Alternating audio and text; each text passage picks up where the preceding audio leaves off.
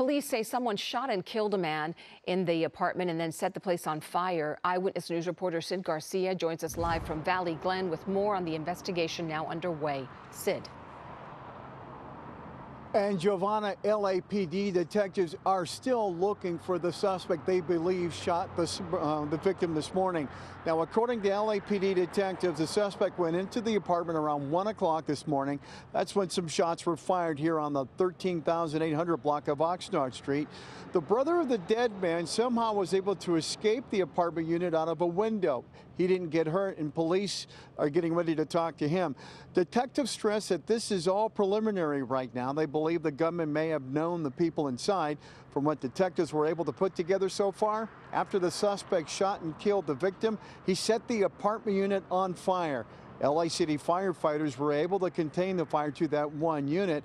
While police continue to search for the suspect, neighbors describe what they heard and saw early this morning.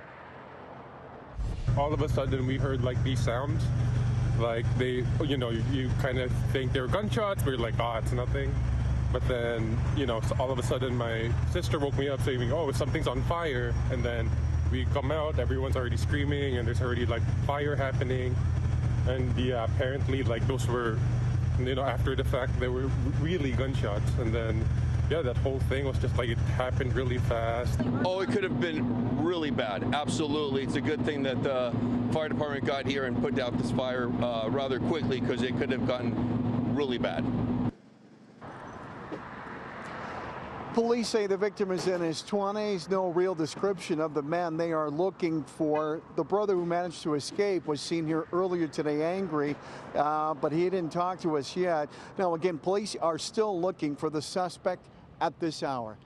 Hello, I'm Mark Brown. Get more great ABC7 content by clicking the subscribe button for our YouTube channel and download the ABC7 Los Angeles streaming app on Fire TV, Android TV, Apple TV, and Roku to watch on your TV.